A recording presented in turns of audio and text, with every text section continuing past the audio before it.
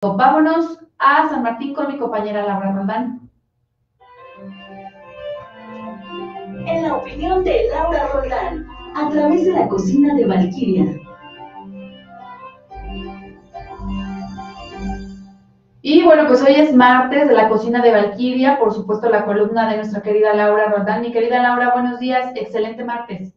Marta, muy buenos días aquí en la auditorio de Punto, en los que escuchamos todos los poblanos en la región del Valle de Tizolucan con mucho gusto y decirte de manera breve que bueno, como siempre y en los acostumbrados cuellos de botella de, de ayer en la tarde y seguramente hoy en las horas pico el tianguis de San Martín se desarrolla sin mayor sobresalto que el que no sea los cuellos de botella que se hacen en las entradas tanto de la 117 como en la de la carretera de México Puebla, ahí por bomberos. Pero bueno, estos cuellos de, de botella tienen su origen, como ya sabemos, en el momento en que sin organización y sin planeación, un presidente municipal decidió aventar a todos los comerciantes que estaban en las calles de San Martín, allá a las 18.5 hectáreas de San Lucas tengo sin planeación y sin organización, sin discreción, desorden, bueno, pues es responsabilidad del gobierno municipal en turno entonces organizar y reordenar al comercio de tianguis para que las cosas fluyan y los ciudadanos usuarios de las realidades no se desesperen por las filas, por los amontonamientos y por el desorden de cada martes. Salvo eso, pues el tianguis, que es la actividad fuerte que marca la semana y que marca este día, camina sin mayor sobresalto, Marta. Y para entrar en materia, te propongo un coctelito de frutas para estos calores. Y bueno, el coctelito tiene de todos los colores y de todos los sabores y de todas las consistencias de las frutas. Y es es un poco el reflejo de lo que está sucediendo cuando solamente faltan 67 días para acudir a las urnas. Derecho y obligación de todos los mexicanos mayores de 18 años Ayer conocimos la alineación de las mujeres y hombres que trabajarán en estos dos meses de campaña para acompañar a Alejandro Armenta a juntar todos los votos que sumen más de los dos millones para ganar la elección y cumplir con la doctora Claudia Sheinbaum, que con muchos se perfila, de acuerdo a las encuestas y pese a las oposiciones, incluso internas, para ser la primera mujer gobernadora que gobierne, presidenta municipal, que gobernará la República Mexicana. El candidato de la Alianza Morena PT, Partido Verde Ecologista, Fuerza por México, el canal Alejandro Armenta Miel, cumplió con su promesa de darle cabida a todos los grupos encabezados por los aspirantes que compitieron en el proceso interno por la nominación, en donde el ex senador terminó ganando. Así lo revelan los nombres de todos quienes fueron presentados ayer. Personajes plenamente ubicados con Ignacio Miel, con Luis Sánchez y con Claudia Rivera Franco, además de la inclusión de Rodrigo Ordala y Julio Huerta como integrantes de este grupo de trabajo, que tendrá como principal objetivo retener el poder en la entidad poblana y alcanzar la meta de sufragios cumplida de inclusión y la palabra dada por el coordinador estatal. Nombres, Fernando Manzanilla, Francisco Ramos, Antonio Bolina, Antonio Hernández X, García Casas y Eduardo Ochoa, el exrector de la Benemérita Universidad Autónoma de Puebla, Fisiología, como asesor y vocero no oficial. Todos están ahí ya, todos lo acompañaron ayer y todos están en la foto. Cuatro fundadores de las bases los obradoristas, bendito sea Dios, Rodrigo Galá, Gabriel Pietro y Abraham Quirón, quienes son tres perfiles que desde por lo menos el 2015 lucharon por este proyecto y por la consolidación del movimiento de regeneración nacional, además, obviamente, de muchos otros más, como Silvia Tanús, Germán Sierra, Juan Manuel Vega Valle, Claudia Hernández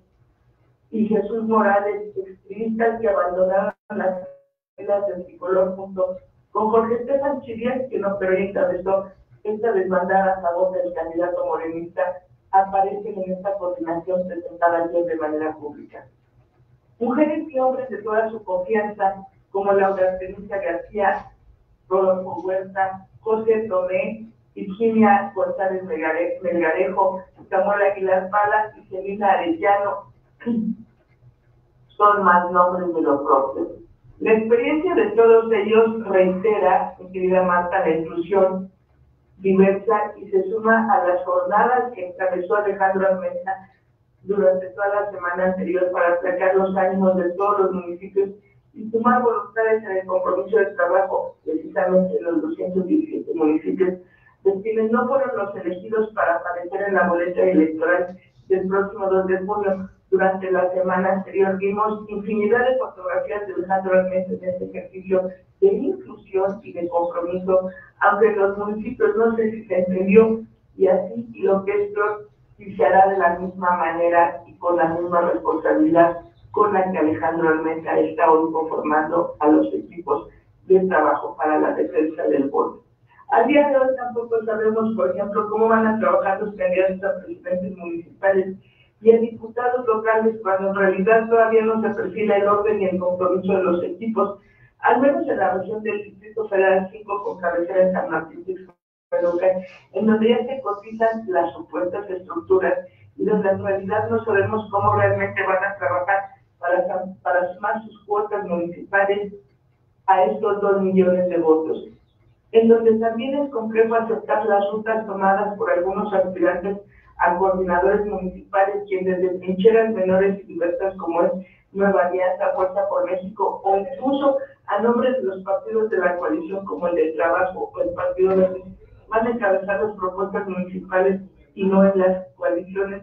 o cómo entonces sí o no van a abonar al 6 de 6 que se propone desde Morena para asegurar los triunfos contundentes e inobjetables. Tampoco hay garantía de que muchos de estos respetables ciudadanas y ciudadanos que ahora operan desde otra trinchera con la seguridad de que, entre comillas, el candidato de Morena no va a ganar, porque no son ellos. Y si en cambio logran juntar votos para también y para había Sheinbaum tarea compleja, muy compleja, más no es posible, pero que sin duda dividirá el voto y no habrá triunfos fuertes. Así que tranquila. La próxima semana veremos cómo arrancan estos experimentos políticos de sumar y dividir, pues en la casa de enfrente y en más de lo mismo, Marta. Al día de hoy, Abraham Salazar Pérez, candidato del Movimiento Ciudadano, y Fidel Ramírez, candidato independiente, están fuera de la contienda no lo estoy diciendo yo, así lo determinó el Instituto Nacional Electoral, INE, porque el árbitro electoral detectó que ambos rebasaron sus topes de campaña. Por ese motivo, ambos candidatos por separado iniciaron su defensa legal para regresar a la contienda. De sus juicios para la defensa de sus derechos ciudadanos y demás alegatos, el Tribunal Superior toma nota y habrá de dar una solución en esta misma semana, obviamente una solución legal e inobjetable, según lo explicaron los abogados. En absoluto silencio mediático y con discreción sobrada y prudencia, Fidel Ramírez hace su defensa jurídica y por otro lado continúa en comunicación y contacto con las y los texmeluquenses en diversas actividades sociales para reafirmar su presencia en el ánimo ciudadano. Abraham Salazar, por el contrario, niega estar fuera de la contienda y con su grupo de incondicionales descalifica e intenta anular, anular la información al respecto, con la leyenda de, entre comillado, nota falsa, cruzada en la captura de pantalla de las notas periodísticas, intenta borrar de manera intolerante todo lo que no le es afín e incondicional a su propuesta. Tal parece que Abraham Salazar no aprende de sus fracasos Tal parece que hacer show, tirarse al piso y venderse como la víctima del proceso electoral es el único argumento que puede manejar Abraham Salazar. De poner el diálogo y el debate no le abonará. Sin duda, es necesario que ambos estén en la boleta, Abraham y Fidel Ramírez, para legitimar la participación en esta elección a presidentes municipales en San Martín de Eso es lo justo, eso sería lo justo aunque dicen que la política no es justa. Sí es preocupante que Abraham Salazar sea intolerante y descalifique todo lo que con argumentos reales, que no verdades absolutas, le incomodan, por no haber atendido de manera correcta la fiscalización de sus gastos de pre-campaña. Yo me pregunto, Con esa actitud gobernará San Martín si el voto le favoreciera. Con la actitud de borrar y descalificar todo lo que no le es a modo. ¿Será que no le pone las ganas de confrontar, descalificar y agredir a quien no obedece y repite sus verdades que por supuesto no son, únicas? Bueno, de hecho nadie tiene verdades absolutas, nadie las tiene en este mundo. ¿Dónde estarán su tolerancia y el respeto del maestro Abraham Salazar propuesta de gobierno? No sé. Lo que sí sé es que esta semana se dará a conocer el veredicto del árbitro electoral de la justicia electoral para saber si File Ramírez y él regresarán a la contienda y aparecerán en la boleta. En este momento ambos están fuera por determinación de la ley, así lo dictan las reglas de la elección. Mañana podría ser distinto. Hasta aquí mi entrega del día de hoy, mi querida Ana. Mañana, mañana definitivamente podría ser distinto y creo que eso demerita a ambos perfiles, tanto a Filemón como a Abraham Salazar en torno al proceso electoral, donde ya tendrían, para este momento, ya tendría que tener armado por lo menos el arranque de campaña y no se tiene ni siquiera definido al candidato. Eso, por supuesto, por supuesto que merma mucho. Vamos a seguir pendientes, mi querida Laura, te mando un abrazo. Otro de regreso y si no disponen cosa, pues nos estamos mañana con más información de la región del Valle de Texas. Gracias, María.